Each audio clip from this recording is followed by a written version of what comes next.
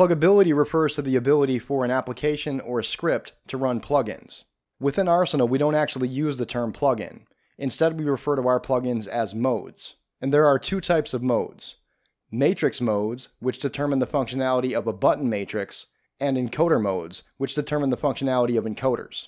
And when I say encoders, I mean encoders, knobs, faders, basically anything that isn't a button or a switch.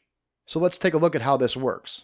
Here I'm using Arsenal LPP, which is the Arsenal powered control surface script for the Launchpad Pro. By default, this works in much the same way as the Launchpad Pro script that's included with Live. So you'll have access to the same seven main matrix modes. You've got Session, Note, Device, User, Volume, Pan, and Sends. The significant difference here, though, is that unlike the Launchpad Pro control surface script that's included with Live, in the Arsenal version, these modes actually aren't part of the script. They're simply the modes that the script is running right now, and that's determined by the settings in a simple text file.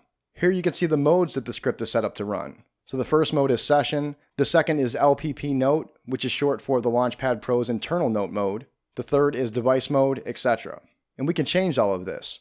Let me give you a couple examples. Let's say I'd like to have a note mode that has a bit more live specific functionality, such as note repeat and a proper layout for playing slices in Simpler. We have a matrix mode called note mode that does exactly that. So we can purchase that mode, install it, and then use it in our scripts. To do that, I'll simply change LPP note to just note. And then, for that change to take effect, I'll need to load a new set or reload the current set. And now you can see when I press the note button, I have the classic isomorphic layout, if I switch to a track that contains a drum rack, I'll have the drum rack layout. And finally, if I switch to a track with simpler and slicing mode, I'll have the simpler layout.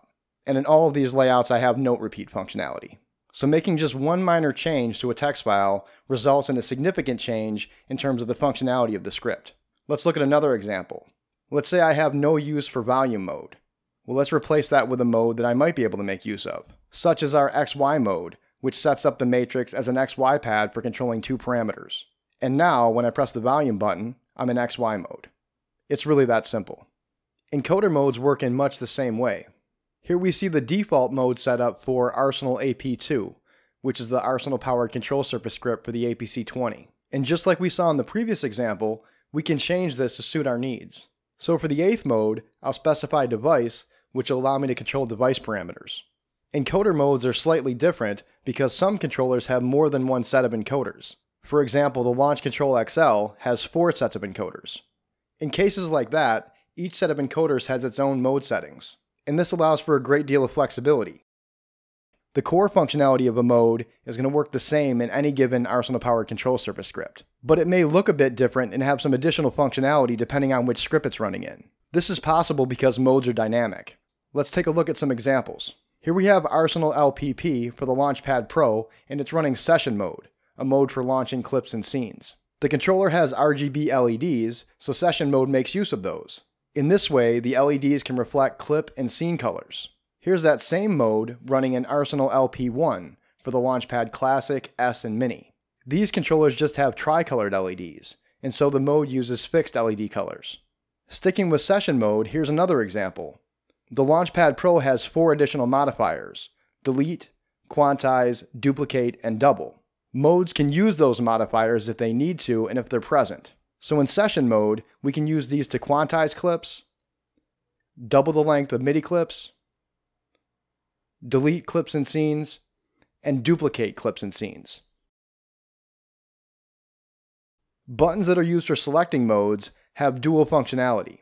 If you press them quickly, you'll latch into a mode, and if you hold them down, you'll have momentary access to a mode. To give you an example of how this is useful, Right now I'm in note mode. Let's say I need to launch a clip. I can hold down the session button, launch the clip that I want, release the session button, and I'll be back in note mode. So this dual functionality allows for a smoother workflow. It also allows for the creation of modes that don't necessarily make sense in a latching context. Here I'm in session mode where I can launch clips, and now I can momentarily switch into session duplicate mode, duplicate a clip, and then switch right back to session mode to continue launching clips.